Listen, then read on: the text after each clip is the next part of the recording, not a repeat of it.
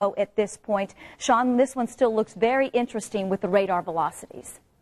All right, thank you. And uh, yeah, that's that's the storm I'm a little concerned about. That rotation is heading right toward Kokomo, Angela, uh, and showing strong signs of rotation with this. So uh, hopefully you have heeded the warnings there because um, as we look at uh, different vantage point, this is showing the hook that is not that far away at all from from Kokomo, uh, likely very close to New London and West Middleton, heading toward the east. So Kokomo, can't stress it enough, you have to be in your safe spots until this storm can move by you. I will do another storm track if you haven't caught them. Um, and we're going to put the put the marker on here. This is going to come very, you know, uh, let's put it at about uh, 25, 30 miles an hour there.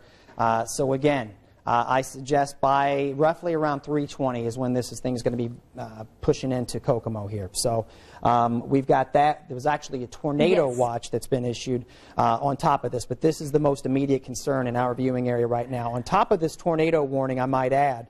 Uh, so we've got that. We've got uh, also have severe thunderstorm warning uh, that's just been issued and I'm going to work down with live Doppler 13 radar um, and also do some analysis on the rotating portion uh, of uh, the storm. I don't see the tight rotation. There's still technically a tornado warning, um, but we've got um, a new warning that uh, includes Boone, Hamilton, Hendricks, and Mary, and this is going to go until 345.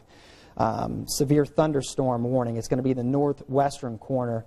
So here's the deal. Even if we're not going to get tornado action out of this, uh, we still have the capability of getting some, some high wind as well. So that warning, by the way, will, will go until 345, Angela. Uh, it includes uh, cities like Traders Point and Zionsville and Westfield. So if you've got if you've got kids that you're going to be that typically may walk home from school, you may have to go pick them up from school, and I assume they'll probably be in their safety safe spots as well. Uh, and the radar's still showing some some strong winds, certainly.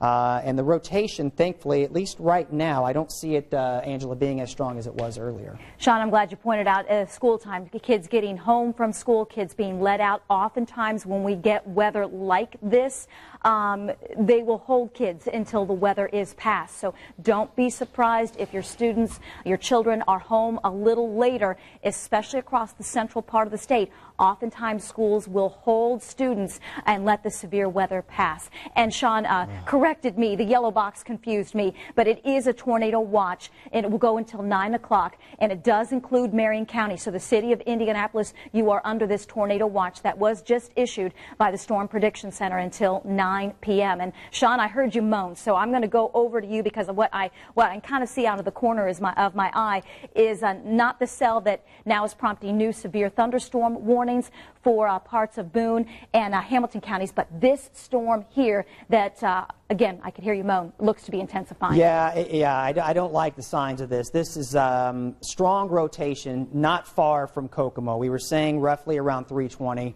Um, this is cutting, probably cutting across uh, South Dixon Road, West Jefferson Street, so 22, um, and head, unfortunately heading right into the heart of Kokomo. Okay.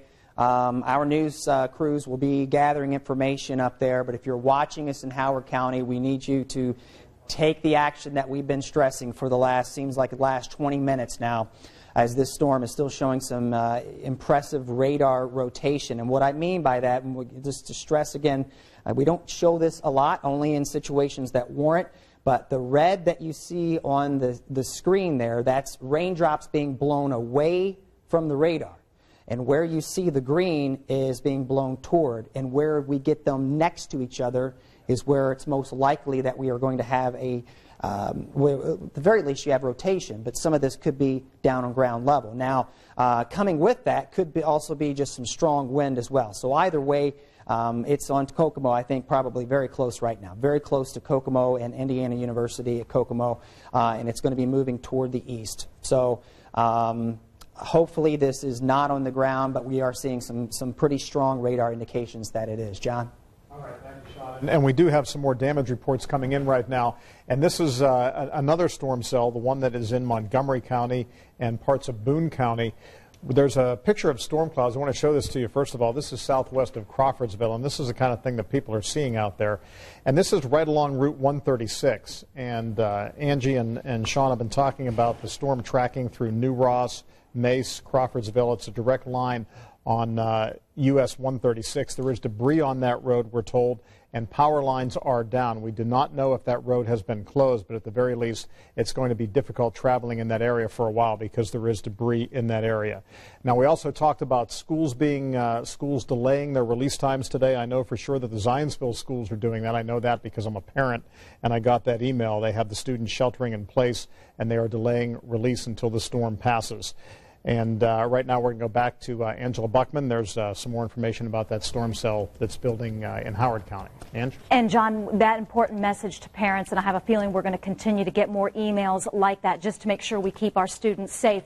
Report coming in funnel cloud one mile west of Kokomo. This is live Doppler 13 radar showing this storm, and it still has really good indications, not only with the velocities that Sean was showing you, but with the radar itself. If this one is tornado, uh, in this area right over Kokomo. So basically crossing 31 now. If you live anywhere from Galveston to Kokomo to Indian Heights, safest part of your home right now. Reports of a funnel cloud one mile west of Kokomo. That just into the newsroom.